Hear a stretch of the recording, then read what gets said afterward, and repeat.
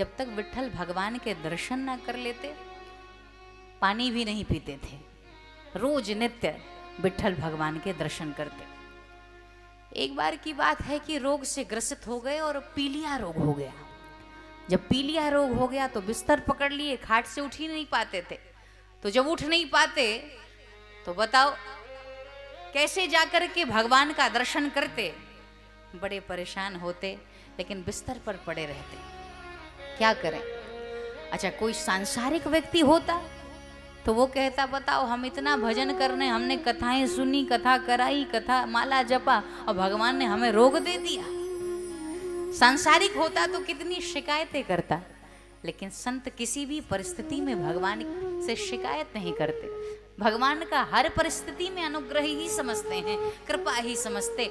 और ये कलिकाल की घटना है। निश्चित रूप से।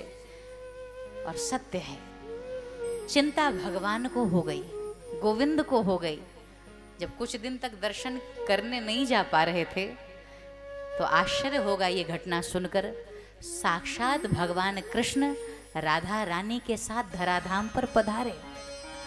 और धराधाम पर जब पधारे, अनेक अमलात्मा, महात्मा, विमलात्मा, ऋषि, मुनि, साधु, संत, तपसी, ज्ञानी, ध्यानी, जोगी सती साध्वी सब पधारे। भगवान आए हैं सभी पधारे दर्शन करने के लिए। लेकिन आश्चर्य है बड़े बड़े भक्त सामने और भगवान के नेत्र चंचल है। भगवान कभी इधर देख रहे, भगवान कभी उधर देख रहे, भगवान इधर, उधर इधर, उधर भी देख रहे। बगल में किशोरी जी खड़ी, राधा रानी खड़ी। राधिका जी ने कहा कि प्रभु मैं देख रही हूँ, इतने बड़े बड़े भक्त तुम्हारे सामने। ज्ञानी ध्यानी सब खड़े हैं। लेकिन तुम्हारे नेत्र चंचल हैं। और हमें लगता है कि जैसे तुम कुछ ढूंढ रहे हो। क्या ढूंढ रहे हो? भगवान ने कहा, हम ढूंढ ये रहे हैं कि सब तो हमें दिखाई दे रहे हैं। लेकिन हमारा भक्त तुकाराम हमें दिखाई नहीं दे रहा। और हमारा, हमारी नेत्र तुकाराम को ही ढूंढ रही हमारी नेत्र तुकाराम को ढूंढ तो पता चला भगवान, आप तो सब जानते हैं कि वो तो पीलिया रोग से ग्रसित हैं। और भगवान ने नौकर का वेश बनाया। राधा जी से कहा, बन जाओ नौकरानी। राधिका जी भी बन गई नौकरानी। और दोनों गए हैं तुकाराम की कुटिया में इतनी सेवा की, इतनी सेवा की, एक महीने तक इतनी सेवा की कि संत तुकाराम स्वस्थ हो गए। और जब संत तुकाराम स्वस्थ हो गए तो उनको उन्होंने बड़ा सुंदर माला था। एक माला नौकर के गले में पहनाया, एक माला नौकरानी के गले में पहनाया और पहनाकर कहा कि तुमने हमारी इतने मन से सेवा की, इतनी सेवा की कि हम स्वस्थ हो गए।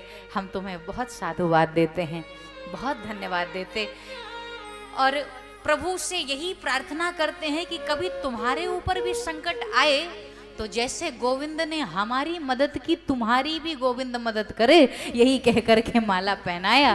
और जैसे माला पहनाया, नौकर नौकरानी को विदा किया। लेकिन अब तुकाराम को लगा कि कई दिन हो गए, दर्शन करने से वंचित रह गए। चलो, चलकर दर्शन करके आते हैं।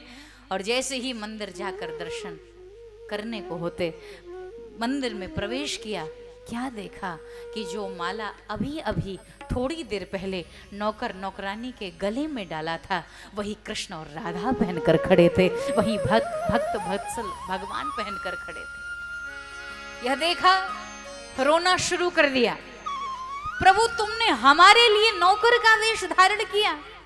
प्रभु तुमने हमारे लिए इतनी लीला रची। और बहुत रोने लगे, चरणों में गिर गए। लेकिन कहने का आशय भक्त के लिए भगवान निश्चित रूप से आते हैं और भक्त की ही दृष्टि से भगवान को समझा जा सकता है। भक्त की दृष्टि से भगवान को जाना जा सकता है।